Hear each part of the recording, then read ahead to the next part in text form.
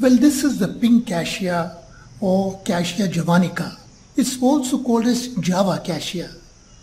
Its origins are in Southeast Asia, but this beautiful plant has been grown extensively in tropical areas worldwide for its beautiful crimson and pink flowers. Here you can see the silhouette of the entire tree. The cassia is a genus of flowering plants which belongs to the family Leguminosae, where all the lentils come from. It is the same genus to which belongs the Indian laburnum or the amaltas.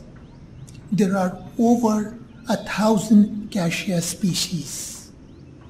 The pink cassia provides the senna leaves and pods that are very important in pharmacy.